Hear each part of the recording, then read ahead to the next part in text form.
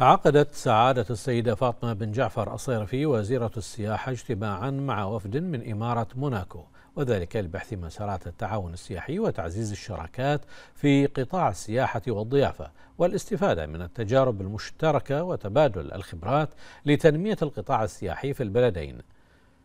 وفي مستهل الاجتماع أطلعت سعادة الوزيرة الوافدة على تفاصيل أهداف ومرتكزات استراتيجية السياحة لمملكة البحرين للأعوام 2022-2026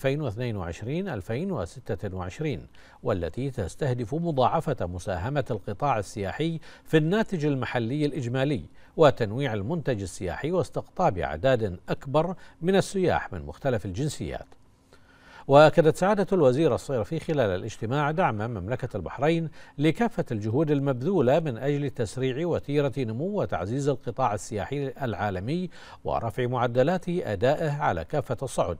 معربة عن استعداد وزارة السياحة وهيئة البحرين للسياحة والمعارض لإقامة علاقات مع وكالات السفر والسياحة والهيئات الرسمية المعنية بالسياحة في إمارة موناكو.